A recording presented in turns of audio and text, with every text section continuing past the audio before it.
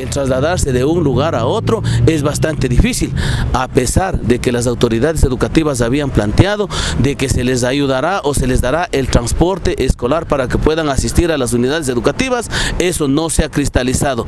Por ello, creemos que es justo realizar estas denuncias como Frente Político de Vanguardia, porque los niños, obviamente, que de alguna forma los padres de familia realizan los esfuerzos necesarios porque es su responsabilidad, vienen a las instituciones educativas, pero lo hacen transportándose en carros de los lecheros, se los hacen transportándose en camionetas, arriesgando su vida. Y es más, de, eh, padres de familia que viven en los sectores más lejanos, como Ixagua, hay como padres de familia que son de San Marcos, algunos de ellos han tenido que arrendar cuartos de vivienda aquí en el sector de San Sebastián para poder asistir a las unidades educativas.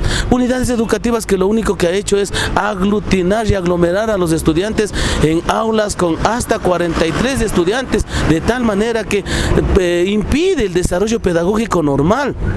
Las instituciones educativas no cuentan con lo necesario y eso es una realidad. Vemos que hasta los conserjes han sido retirados de eh, los establecimientos educativos. Así no podemos decir que hay una calidad de educación.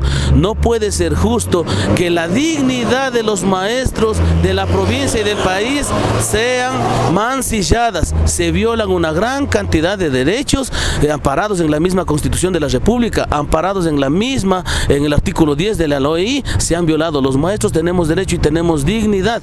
Ahora, no solamente estamos trabajando las 8 horas, sino más allá trabajamos alrededor de 15 hasta 20 horas laborables, porque una vez que salimos de las instituciones educativas, nos toca trasladarnos a los hogares y ahí nuevamente abrir nuestras computadoras y llenar una serie de matrices, una serie de documentos que nos piden siquiera dos, tres, cuatro veces las mismas, los mismos documentos y obviamente el maestro termina trabajando, si es posible, hasta las 10 o 12 de la noche.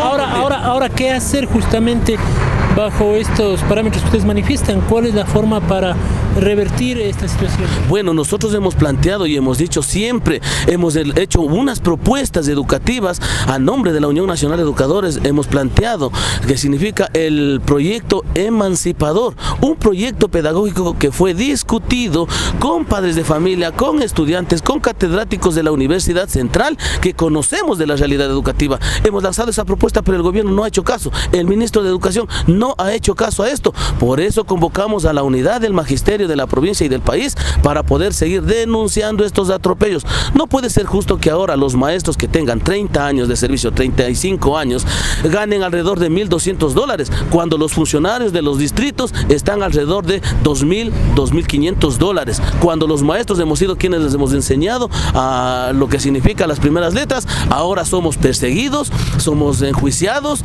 eh, posiblemente encarcelados decir estas eh, realidades que vienen sucediendo en el ámbito educativo. Vanguardia no permitirá eso, no será cómplice de estos atropellos, como son un grupo de maestros de la red educativa que aparecen y son fines del gobierno porque lo único que están buscando son tener alguna canojía política. Nosotros no somos de ello. Se habla que va a haber eh, nuevas movilizaciones, en este sentido ustedes serán partícipes. Convocamos a la unidad del magisterio, convocamos al frente de vanguardia para el día de mañana a partir eh, de las 2 de la tarde de la, movilización, porque son movilizaciones a nivel, a nivel nacional, en vista de que las políticas que hizo el gobierno ahora lo que han hecho es despedir a trabajadores de las, diferentes empresas privadas y públicas, han despedido. Entonces, ¿dónde está lo que dice el gobierno en cada sabatina que ya está escansa oírle todos los sábados que la educación, que la economía del país ha superado? Algo que no es realidad. Por ello invitamos a formar parte de la movilización de este día miércoles en donde estaremos con todos los trabajadores y con todos los maestros dando y rechazando estas políticas de gobierno.